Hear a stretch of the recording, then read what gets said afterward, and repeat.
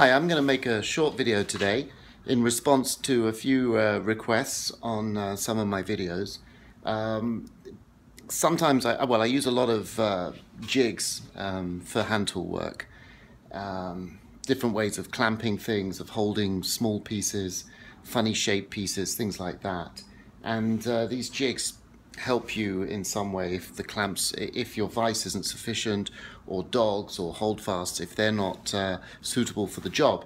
So one in particular that I use, um, this is a thickness planing sled, uh, piece of veneered chipboard, nice and flat, and a couple of uh, sides here to keep it rigid, and a fence at the end. And there's a little nail, I don't know if the camera can pick that up, tiny little brad there. That's just to hold the piece from, from shifting around. So you just sort of tap that, it just stops it from moving around. And then these runners here allow the sides of the plane um, where the blade doesn't come through the mouth um, to run consistently like that. Um, and originally I made this so that these could be removed and different, different uh, heights or different thicknesses of wood.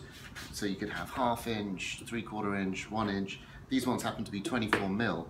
Um, so essentially you put the, uh, the stock in there and you run your sled backwards and run your plane backwards and forwards. It's sized for either a 62 or a number 4, 2 inch wide um, sole. And you would rotate it and so on. And you'd end up with really, really consistently uh, thickness, um, similarly thickness stock. So that's the thickness planing sled. Um,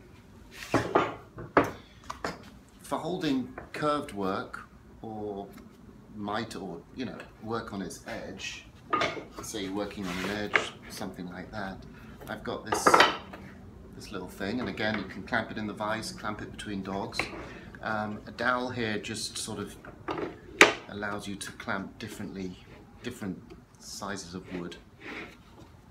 Um, and that works really well if you've got a curved piece, a dowel or something, um, working on a bead.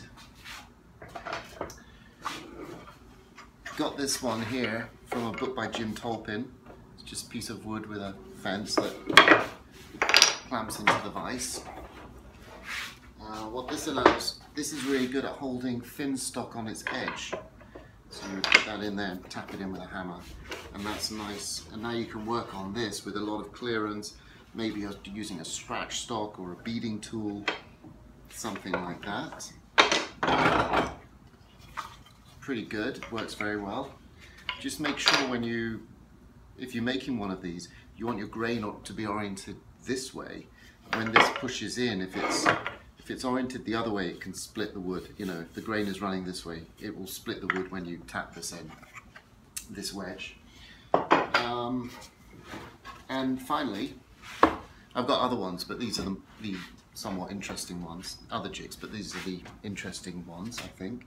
This is a sticking board. I've got some wing nuts here which allow this to be uh, moved to account for different thicknesses of material. So can slide all the way up to about a quarter of an inch to as wide as three to four inches, like so. What this is um, good for is if for some reason you want to use a plough plane or something like that and your material doesn't reach the dogs, the position of the uh, dog holes on your bench, you can clamp this, have it overhanging the bench and still be able to work on your material. So it's sort of a bench extension and it stops it from moving this way. So those are a couple of things um, that make hand tool woodworking uh, easier and uh, thanks for looking. Hope you enjoyed that. Thanks for watching.